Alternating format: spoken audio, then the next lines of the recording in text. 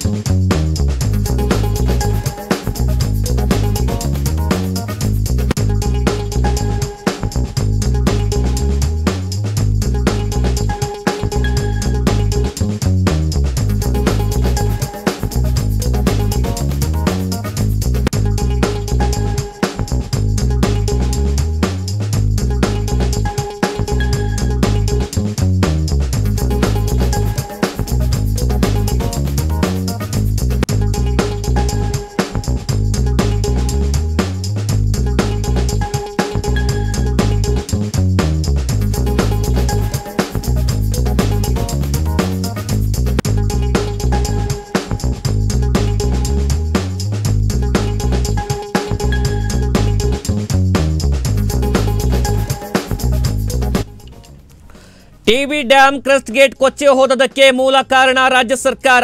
ಹುಬ್ಬಳ್ಳಿಯಲ್ಲಿ ಬೆಳಗಾವಿ ಸಂಸದ ಜಗದೀಶ್ ಶೆಟ್ಟರ್ ಸರ್ಕಾರದ ಮೇಲೆ ಆರೋಪವನ್ನು ಮಾಡಿದ್ದಾರೆ. ಇದಕ್ಕೆಲ್ಲ ಕಾರಣೀಭೂತರು ಮುಖ್ಯಮಂತ್ರಿಗಳು, ಉಪಮುಖ್ಯಮಂತ್ರಿಗಳು, ರಾಜ್ಯ ಸರ್ಕಾರ ಅಂತೇಳಿ ನೇರವಾಗಿ ಆರೋಪವನ್ನು ಮಾಡಿರ್ತಕ್ಕಂಥದ್ದು ಜಗದೀಶ್ ಶೆಟ್ಟರ್. ರಾಜ್ಯ ಸರ್ಕಾರ ನಿರ್ಲಕ್ಷ್ಯ ಮಾಡಿದರೆ ಅಧಿಕಾರಿಗಳು ನಿರ್ಲಕ್ಷ್ಯ ಮಾಡ್ತಾರೆ ಅಂತೇಳಿ ನೇರವಾಗಿ ಆರೋಪವನ್ನು ಮಾಡಿದ್ದಾರೆ. ಡ್ಯಾಮ್ನಲ್ಲಿ ಇಂಜಿನಿಯರ್ಸ್ಗಳೇ ಇಲ್ಲ. ಎಲ್ಲರೂ ಕೂಡ ಇನ್ಚಾರ್ಜ್ ಮೇಲೆ ಇದ್ದಾರೆ ಸರ್ಕಾರ ನಡೆಸೋದಕ್ಕೆ ಅವರು ಆಸಕ್ತಿ ಕಳೆದುಕೊಂಡಿದ್ದಾರೆ ಅಂತೇಳಿ ಕಾಂಗ್ರೆಸ್ ಸರ್ಕಾರದ ವಿರುದ್ಧವಾಗಿ ಆಕ್ರೋಶವನ್ನ ಹೊರಗಾಕಿದ್ದಾರೆ. ಜಗದೀಶ್ ಶೆಟ್ಟರ್, ಬರೀ ಜನಾಂದೋಲನ, ಜನ ಸೇರಿಸೋದ್ರಲ್ಲೇ ಕೂಡ ಸಮಯವನ್ನ ಕಳೆದಾಕಿದ್ದಾರೆ. ಕಾಂಗ್ರೆಸ್ ನಾಯಕರು ಅಂತೇಳಿ ಲೇವಡಿಯನ್ನ ಮಾಡಿರ್ತಕ್ಕಂತಹದ್ದು. ಅಭಿವೃದ್ಧಿ ಪರ ಕೆಲಸಗಳಿಗೆ ಅವರ ಬಳಿ ಸಮಯವೇ ಇಲ್ಲ ಅಂತೇಳಿ ಇದೀಗ ಜಗದೀಶ್ ಶೆಟ್ಟರ್ ಆಕ್ರೋಶವನ್ನ ಹೊರಗಾಕಿದ್ದಾರೆ. ನಾನು ಕೂಡ ಟಿ ಬಿ ಡ್ಯಾಮ್ಗೆ ಭೇಟಿ ನೀಡಿದ್ದೇನೆ. ಅದನ್ನ ನೋಡಿದ್ರೆ ಬಹಳ ಬೇಜಾರಾಗುತ್ತೆ. ಸರಿಯಾಗಿ ನಿರ್ವಹಣೆ ಮಾಡದೇ ಇರೋದಕ್ಕೆ ಇದೆಲ್ಲದಕ್ಕೂ ಕೂಡ ಕಾರಣ ಅಂತೇಳಿ ಆರೋಪವನ್ನ ಮಾಡಿದ್ದಾರೆ. ಡಿ ಕೆ ಶಿವಕುಮಾರ್ ಬಂದ್ರು, ಎಕ್ಸ್ಪರ್ಟ್ ಟೀಮ್ ಕರೆಸ್ತೀನಿ ಅಂತ ಹೇಳಿ ಹೋದ್ರು. ಬ್ರಿಟಿಷರ ಕಾಲದಲ್ಲಿ ನಿರ್ಮಾಣವಾದಂತಹ ಡ್ಯಾಮ್ ಅದು ಇಲ್ಲಿವರೆಗೂ ಈ ರೀತಿಯಾದಂತಹ ಯಾವುದೇ ರೀತಿಯಾದ ಘಟನೆಗಳು ನಡೆದಿರಲಿಲ್ಲ. ತುಂಗಭದ್ರಾ ಡ್ಯಾಮ್ನಿಂದ ರೈತರು ವರ್ಷಕ್ಕೆ ಎರಡು ಮೂರು ಬೆಳೆಯನ್ನು ತೆಗಿತಾ ಇದ್ರು. ಕಳೆದ ಆರು ತಿಂಗಳ ಹಿಂದೆ ಡ್ಯಾಮ್ನಲ್ಲಿ ನೀರು ಕೂಡ ಇರಲಿಲ್ಲ. ಆಗ ನಿರ್ವಹಣೆ ಮಾಡುವುದಾಗಿತ್ತಲ್ವ?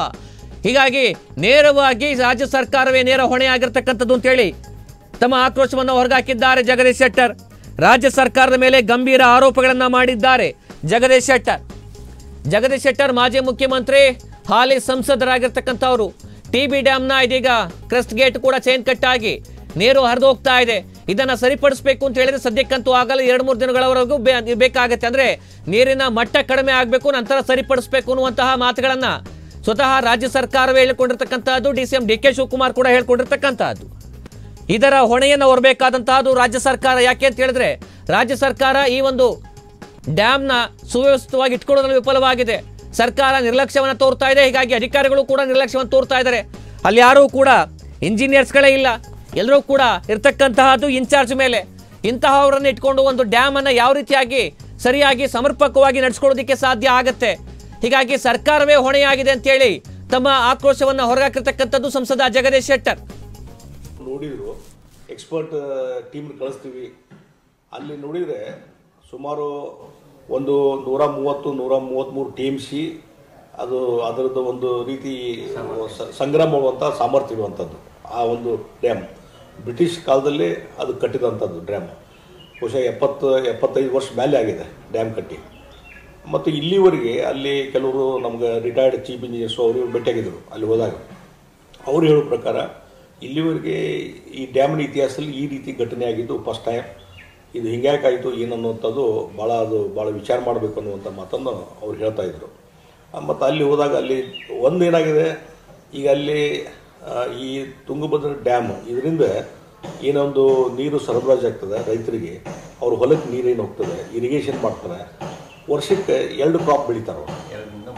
ಆ ಎರಡರಿಂದ ಮೂರು ಕ್ರಾಪ್ ಬೆಳಿತಾರೆ ಅವ್ರು. ಸುಮಾರು ಹನ್ನೆರಡು ಲಕ್ಷ ಎಕರೆ ಎಕರೆಗೆ ಇದು ನೀರಾವರಿ ಲಾಭ ಆಗಿದ್ದು ನಾವು ನೋಡ್ತಾ ಇದ್ದೀವಿ. ಮತ್ತು ಕಳೆದ ಆರು ತಿಂಗಳ ಹಿಂದೆ ನೀರು ಇರಲಿಲ್ಲ ಅಲ್ಲಿ ಡ್ಯಾಮ್ನಲ್ಲಿ. ಆವಾಗ ಸರಿಯಾದಂಥ ನಿರ್ವಹಣೆ ಮಾಡಿಬಿಟ್ಟಿದ್ರೆ ಬಹುಶಃ ಇದು ಅನಾಹುತ ಆಗಲಿಕ್ಕೆ ಸಾಧ್ಯ ಇರಲಿಲ್ಲ. ನಿರ್ವಹಣೆ ಮಾಡದೇ ಇರುವುದೇ ಮೇನ್ ಬೇಕು. ಮತ್ತು ಅಲ್ಲಿ ಕೆಲವರು ಹೇಳಿದ ಪ್ರಕಾರ ಪ್ರತಿ ವರ್ಷ ನಿರ್ವಹಣೆ ಸಲುವಾಗಿನೇ ದುಡ್ಡಿಟ್ಟು ಟೆಂಡರ್ ಕರೆದು ನಿರ್ವಹಣೆ ಮಾಡುವಂಥದ್ದು ನೋಡ್ತಾರೆ. ಆದರೆ ಆ, ಆ ರೀತಿ ಯಾವುದೇ ರೀತಿಯಾದಂಥ ಒಂದು ರೆಕಾರ್ಡ್ ಆಗಲಿ ಮತ್ತೊಂದಾಗಲಿ ಯಾವುದೂ ಇಲ್ಲದಂಥ ಪರಿಸ್ಥಿತಿ ಇವತ್ತು ನಾವು ನೋಡ್ತಾ ಇದ್ದೀವಿ. ಹೀಗಾಗಿ ಇಲ್ಲಿ ಸರ್ಕಾರದ ಈಗೇನಾಗಿದೆ C M D C M ಅವ್ರ ಮೇಲೆ ಭ್ರಷ್ಟಾಚಾರದ ಹಗರಣ, ಇದಕ್ಕೆ ಬರೀ ಅವರು ಉತ್ತರ ಕೊಡೋದು, ಅದರ ಹಿನ್ನೆಲೆಯಲ್ಲಿ ರಾಜಕಾರಣ ಮಾಡುವಂಥದ್ದು ಪ್ರತಿಪಕ್ಷಗಳಿಗೆ ಬೈಯುವಂಥದ್ದು, ಇದೇ ಕೆಲಸ ಬಹುಶಃ ಇರಿಗೇಷನ್ ಮಿನಿಸ್ಟ್ರು, ರಾಜ್ಯ ಕಾಂಗ್ರೆಸ್ ಅಧ್ಯಕ್ಷರು ಇರ್ಬೋದು, ಮತ್ತು ಇರಿಗೇಷನ್ ಮಿನಿಸ್ಟ್ರು ಅದರ ಡಿ ಸಿ ಎಂ ಅದಾರ. ಹೀಗಾಗಿ ಬಹುಶಃ ಅವ್ರಿಗೆ ಟೈಮ್ ಸಿಕ್ಕಿಲ್ಲ. ಇಲ್ಲಿ ಮೀಟಿಂಗ್ ಮಾಡಲಿಕ್ಕೆ. ನಿನ್ನೆ ಬಂದರು ಅಟ್ಲೀಸ್ಟ್ ಒಂದು ಮೀಟಿಂಗ್ ಮಾಡಿ.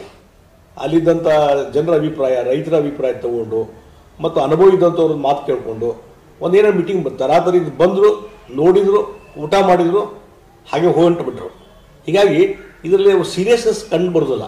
ಇವತ್ತು ರಾಜ್ಯ ಸರ್ಕಾರದಲ್ಲಿ ಒಂದು ಸೀರಿಯಸ್ನೆಸ್ ಏನಿರಬೇಕು, ಇಂಥ ಅನಾಹುತ ಆದಾಗ ಅದು ಯಾವುದೂ ಕಂಡು ಬರಲಿಲ್ಲ ಮತ್ತು ಇದರಿಂದ ಏನಾಗಿದೆ, ಈಗ ನಮ್ಮ ರೈತರಿಗೆ ಇದು ಸಫರ್ ಆಗೋದು ನಮ್ಮ ರೈತರು. ಆ ಭಾಗದ ರೈತರು, ಮೂರಾರು ಜಿಲ್ಲೆಯಲ್ಲಿ ರೈತರಿಗೆ ಇವತ್ತು ತೊಂದರೆ ಆಗ್ತಾ ಇದೆ. ಇದರಿಂದ ಏನು ಕ್ರಾಪ್ ಲಾಸ್ ಆಗ್ತದೆ.